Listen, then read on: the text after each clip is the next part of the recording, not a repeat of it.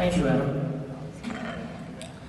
Your Excellency, the Honourable Margaret Beazley, Governor of New South Wales, Mr Dennis Wilson, Acting Vice-Chancellor, Professor Duncan Iverson, Dean of Science, Professor Ian Young, Head of School of Physics, Celine Bonn, President of the Physics Foundation, Anne Green, distinguished guests, family and friends, but last but not least, the reason why we're all gathered here this evening, the ISS Scholars of 2019.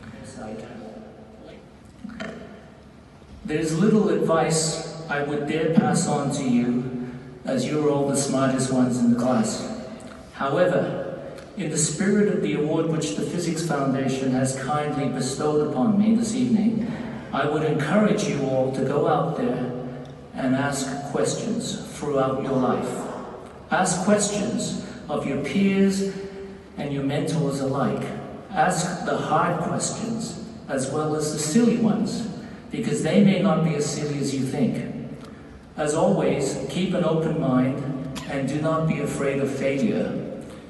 Good lessons are expensive.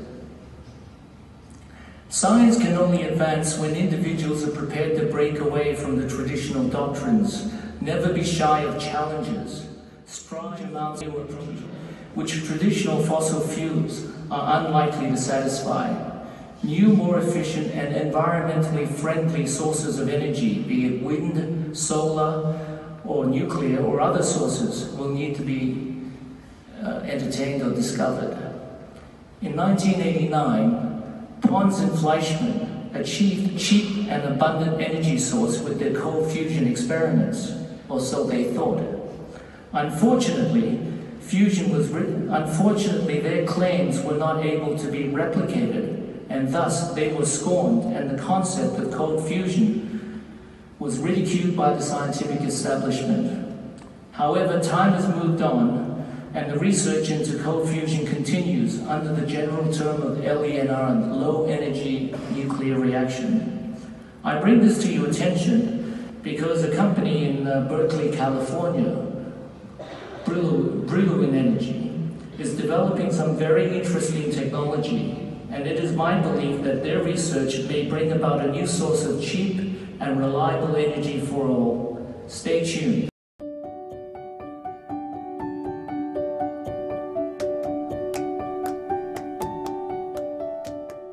fossil fuels just aren't working. We're doing to this planet something that this planet wasn't designed for. Civilization needs a new energy technology. LENR, I think, is probably the most viable technology. It's not cold fusion. It's not a chemical reaction. It's a reaction of certain metals, nickel, palladium, with hydrogen. We have patented a control system that actually starts and stops the reaction when you need it to. This is the breakthrough that this technology has needed for the last 25 years. If we succeed in our number one goal of making this technology actually work on any commercial type of basis, it would change the conversation about how we make energy. They had done an experiment with an electrolytic cell using a palladium cathode, and I thought, palladium, there's something interesting about palladium one of the engineers I was working with said they use that to filter hydrogen. I said helium won't go through, and he said no, helium won't go through. Well, turns out that helium is actually about half the size of hydrogen. And then I remembered, oh yeah, they use palladium for the proton exchange membrane in fuel cells on the Apollo missions. That's when I said, I know what's going on, and if nobody's done it in 10 years, I'll build a reactor myself. And I started really moving in the direction of figuring out exactly what it was going to take to implement the physics that actually drives the underlying reaction so the phenomena could be controlled and turned into a technology. Brillouin Energy has assembled a team of multidiscipline engineers and scientists to work on low-cost, non-carbon based energy. We bring pressures, gases, temperatures, heat transfer. We bring all of that together in one machine so that we can accurately measure excess power.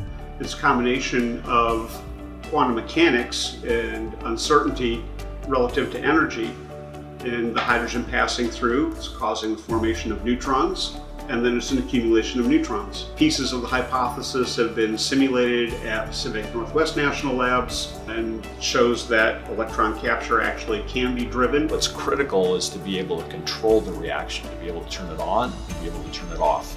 That then makes something that can be commercially useful. We've developed an ability to actually control the reaction with our Q-Pulse technology. By doing that, then we're able to uh, consistently produce an excess amount of heat.